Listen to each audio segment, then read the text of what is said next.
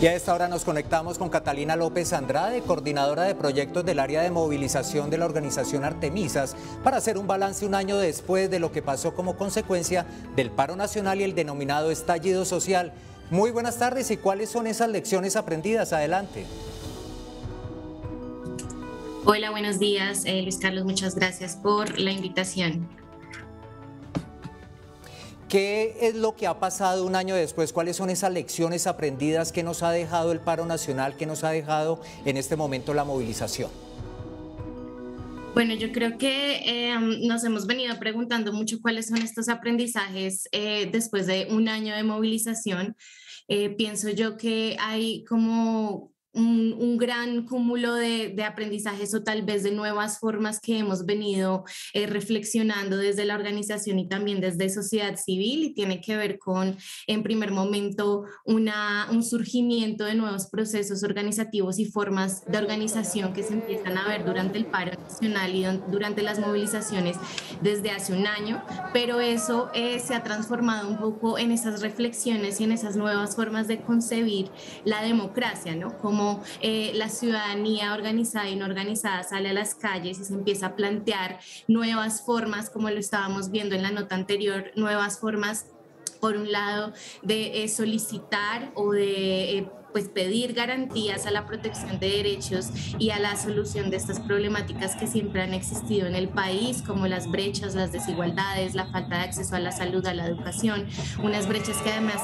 aumentaron durante la pandemia y surgen nuevas formas como desde el arte, eh, desde los performance, desde las asambleas populares, desde estas estrategias que son mucho más barriales y desde las comunidades que surgen en medio de las movilizaciones y que hoy se mantienen y de hecho hoy en el aniversario de eh, el paro nacional vuelven a las calles, ¿no? Y por otro lado, pienso yo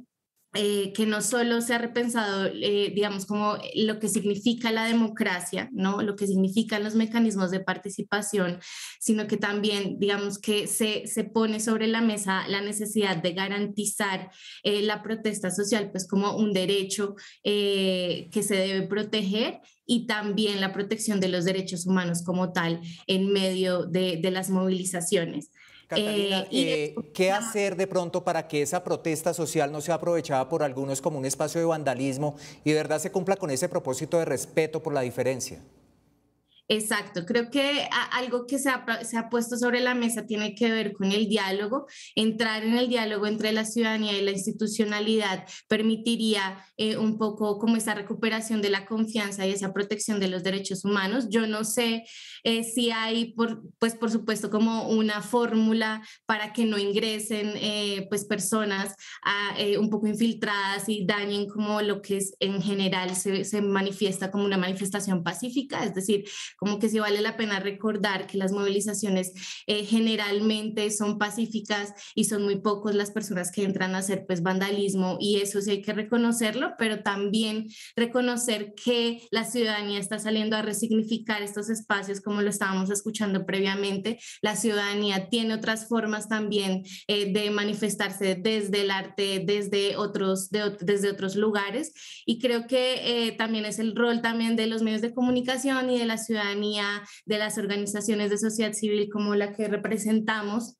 eh, un poco visibilizar más allá de las pocas, los pocos hechos de vandalismo, pues que creo que ya nos hemos dado cuenta que es muy difícil de impedir que esto suceda. Por supuesto que mm, eh, está sobre la mesa que no haya una respuesta desmedida por parte de la fuerza pública, pero también que podamos visibilizar que la protesta en general es pacífica y que tiene unas formas artísticas y pacíficas que se resaltan eh, y que también puede desmarcar un poco desde ahí la estigmatización que, que muchas veces se genera en, el, en la ciudadanía, eh, pues... Entendido, Catalina, sí. social como tal. Catalina, muchísimas gracias por esta intervención, por esta explicación. Gracias por estar con nosotros aquí en Noticias Capital y que tenga una feliz tarde.